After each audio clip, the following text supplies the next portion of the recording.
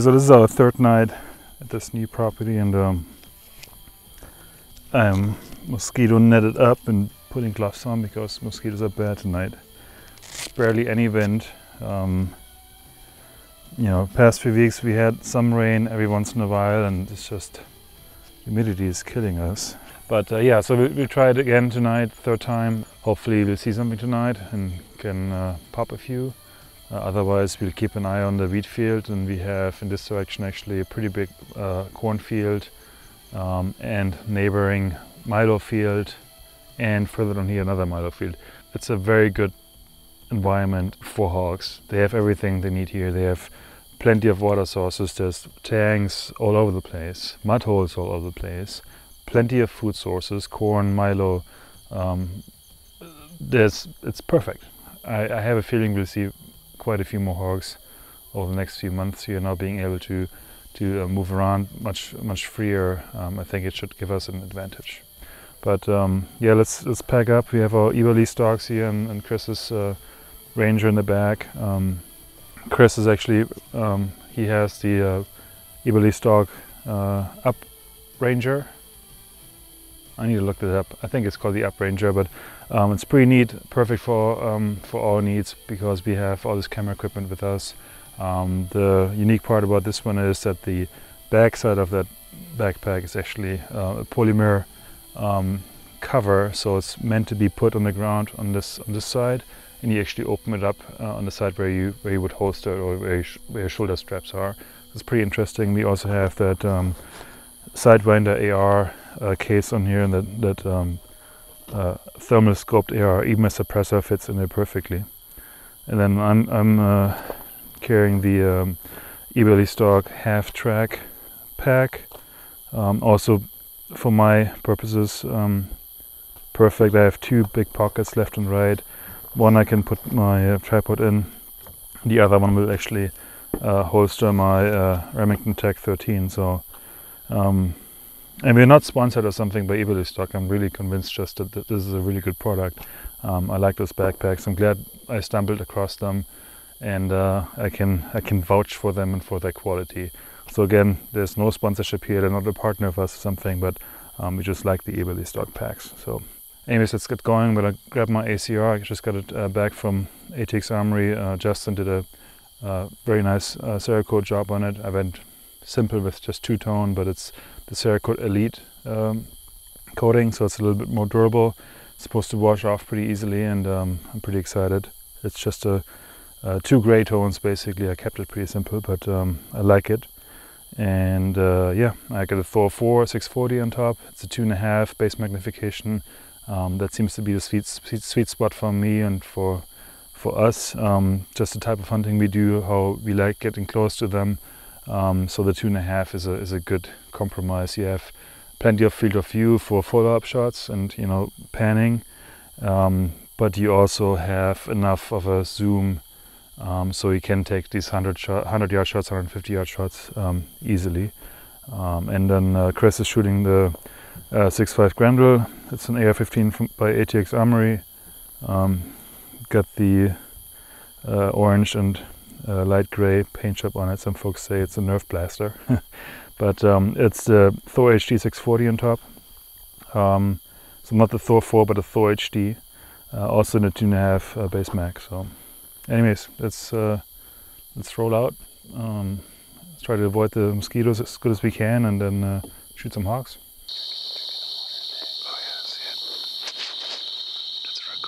About 45 minutes after this raccoon showed up, we have a boar come in on the left side of this tank. And since the weeds are so tall, he was about to disappear pretty quick, so we took a shot.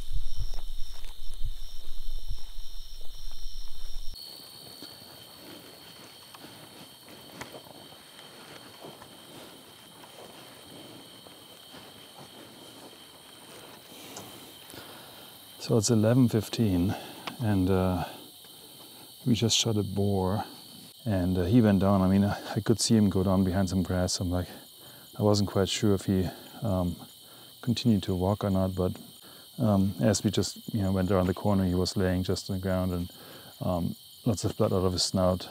Uh, looked like a lung shot, and um, he, it didn't take him long to expire. So um, no action for the TAC 13 right now.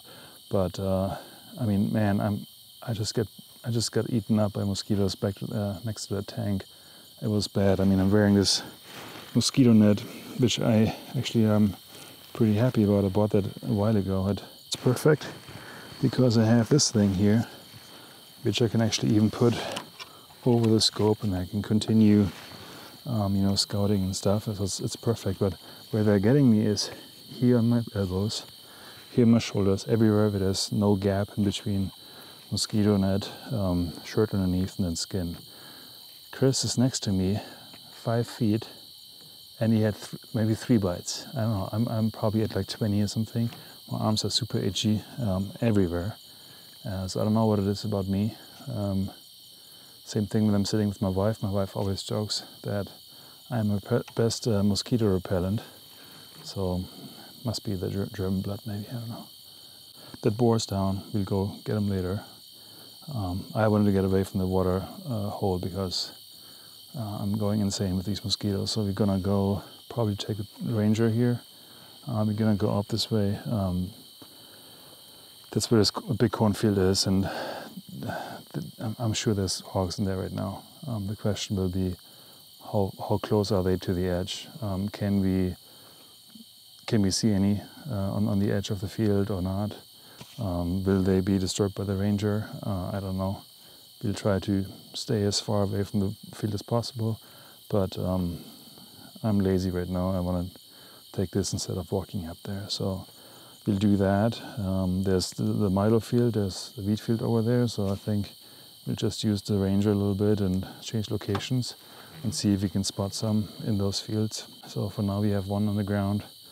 Um, and uh, maybe we can we can change that. Otherwise, uh, I don't I don't mind calling it a night at some point because my arms are on fire from those mosquitoes, and uh, it's also disgusting because it's 84 degrees, feels like 92 degrees. Um, it only says 70% humidity, but it feels much worse. So I'm complaining while our friends from uh, Rougarou Hog Control in Louisiana, Shane and those guys, uh, they probably have it much worse. You know, probably the humidity is much worse, swamp and whatnot, and uh, so uh, probably can't complain. But it's still terrible. I don't care what those guys are going through. It's still terrible down here. It still doesn't make our situation any better. So, but somebody has to do it. So might as well be us. All right, let's uh, load up and uh, see if we can find some more hogs.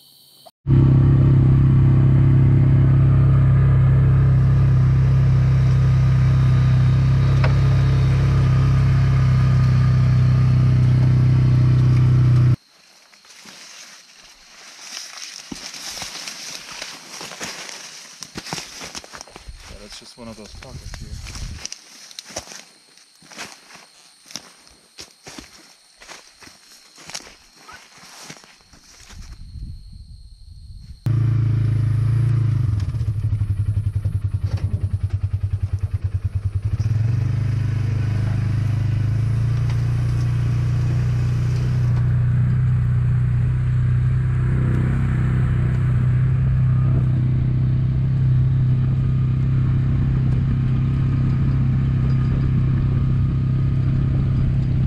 Scanning that wheat field on our way back down, we discovered two bucks here and a boar further in the back.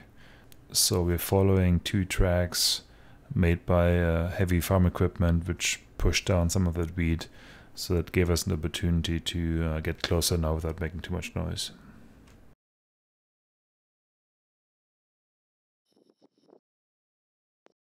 As we're getting closer, we also realized that further to the left, um, maybe about three, four hundred yards out, um, is another boar. Uh, so at this point, wind direction, everything, we decide to uh, continue our approach to the boar we uh, discovered first. Um, so we, we, we try to get closer, maybe between 80 and 60 yards if we could. Uh, that would be our preference.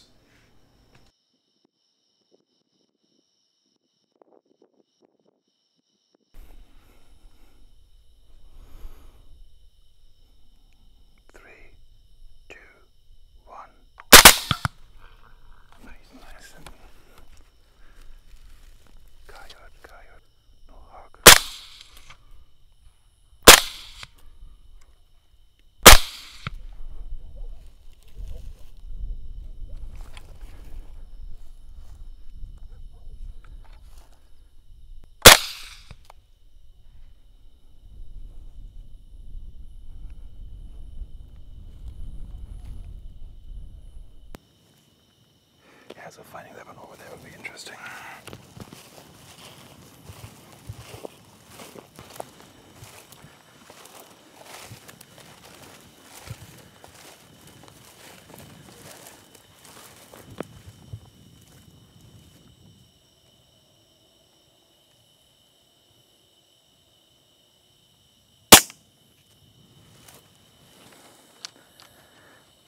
Those are some cutters right there, my friend.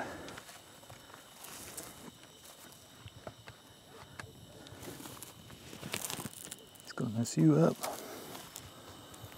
and or a dog.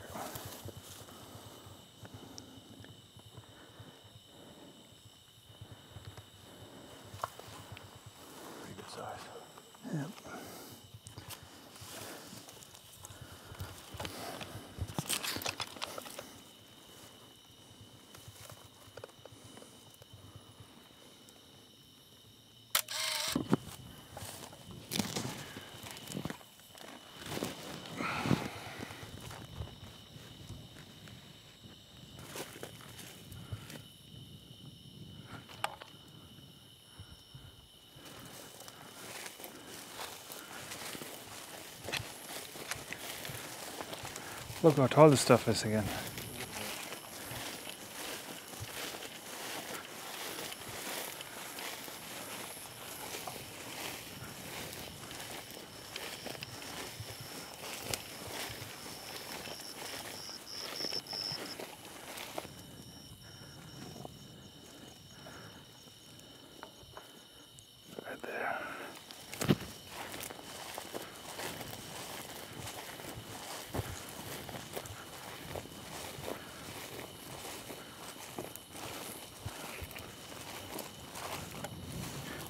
Look at that, another one of those. Holy crap.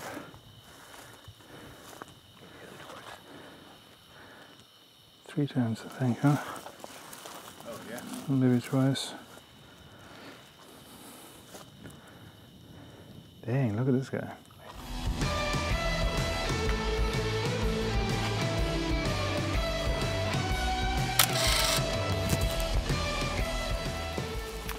All right, we are finishing a uh, triple trip to this place. We've been out here now three times. Uh, first time we uh, took a boar. Second time, uh, nothing on, on this new property, but just a neighboring property, really, literally just one property over. Actually two properties over, but same vicinity and uh, it's all the same bunch. Um, shot a boar. Uh, he was a decent sized. Uh, Jin took that one. And now the grand finale tonight, um, third time we're coming out, triple boars, decent ones, especially this guy here. Um, honestly, looking through the thermal, I didn't even realize how big he was. I, I thought he was just a normal size. Yeah, I mean, uh, it's, it's strange sometimes you see something in the thermal and think it's a giant hog, and then you shoot it and you get to it and like, huh, hmm, this is actually smaller than anticipated. This time, uh, he was out in the field by himself, two deer next to him, two bucks actually, and one of them looked decent for how early it is in the season. It's end of, uh, it's beginning of July. We just had Independence Day. He was there. Um, we make our way up uh, or down there um, and uh, we were lucky the wheat field wasn't as, as noisy. There was a uh, the farmer just had um, big machinery out, and there was a good track in the in the ground. Um, so we just followed that track, and he was literally just down that track. Yep. Perfect, right? Um, so we were able to get close to him, 70, 80 yards. Uh, we both shoot, uh, both hit. He goes down right away. Uh, he didn't move um, any further. And then this guy over here, and I don't think you can see on the video um, the cutters this guy has, but he actually had, he has bigger cutters than this guy, but both of them have significant tusks. Um, talking about uh, the owner and her dogs, how they were messed up beginning of this uh, beginning of June by hogs, all four of them, and they you know they go out in the pack and they they hunt these hogs basically, and sometimes take one down.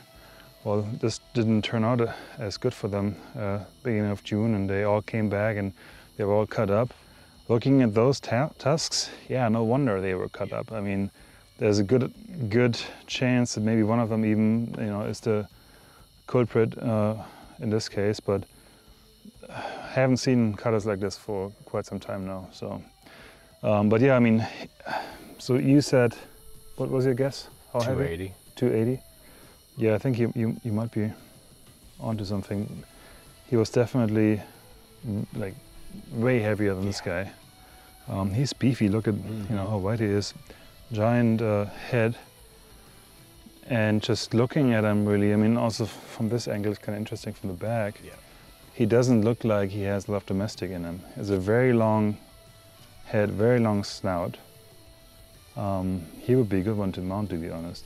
Crazy. This one, he was off to our side when we when we shot this one, so we knew that there was another boar uh, to our left, and he was probably 150 yards out. Um, and I was wondering what he would do once once we go after this guy. Um, so we shoot him, uh, looked over to my left, and here he comes running, uh, not towards us, but towards the, the tree line in the back, uh, but in an, in an, at an angle where he actually came closer to us. And I was already in zoom, I was in 3.9 magnification, and uh, he gave me good opportunity. He was clear of the deer, and uh, so I went for it. I think I did two or three shots and uh, had two or three hits. So He's shooting. he uh, goes down, disappears in the, in the regrown weed pretty quick, but um, we were able to find him. And I'm so glad that Yeah. You bought this Yeah. Polaris Ranger and you, uh, you took it out tonight because having that, being able to, you know, hop from one property to the next and then, uh, you know, use that to, to um, pull these hogs together, what a difference, man. Yeah. Yeah, I- it didn't take that long to load them up. No, I uh, do not like dragging these hogs No. across those fields all the time. No. Uh, especially this dude. Good, Yeah. good luck tr- uh, dragging him across a wheat field like that. We wouldn't be here right now taking this video if we wouldn't have that that ranger with us tonight. So that was a huge help, and um, yeah, I think this is this is a good tool for for this area. Yes, sir. We have multiple properties close by, it's um, it's a huge help. So, thanks, brother. Thank you, sir. Texas JAGD. And uh, if you guys like those videos, make sure you subscribe and give us a thumbs up. If you have any feedback, uh, comments are always welcome. And we'll see you next time. This ground is hard. I know.